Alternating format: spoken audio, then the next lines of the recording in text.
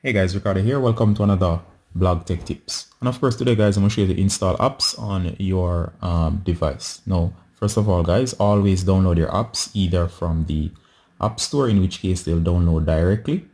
Or of course, if you're not going to download from the App Store, uh, the next place to get your apps from would be online. So for example, make sure that the app that you're getting is from a trusted source. And of course, make sure it's the official website before downloading. Some apps can only be found online. Others can only be found in the App Store. And of course, the ones from online can be very dangerous, especially if you get them from an illegitimate source. All right, so today I'm going to download the VLC um, player. First of all, you're going to go ahead and go to the official website where you're going to get the download there.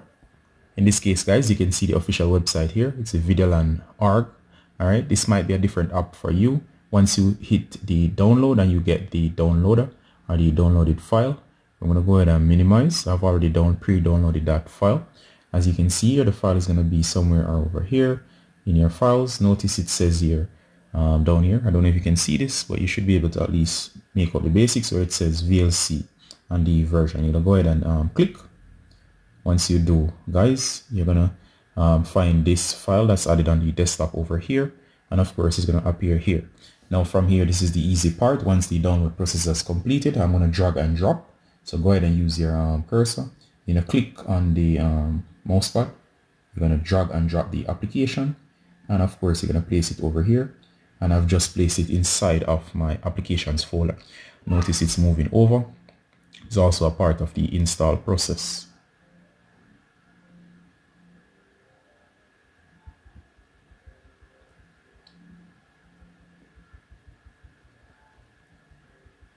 All right there you go. That sound indicates that it's finished.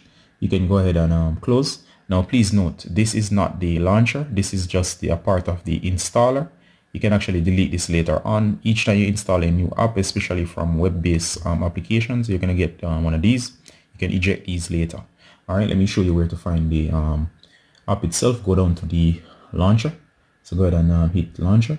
Once you're in launcher here guys you should see the application right here which is VLC um, to open up this player go ahead and tap.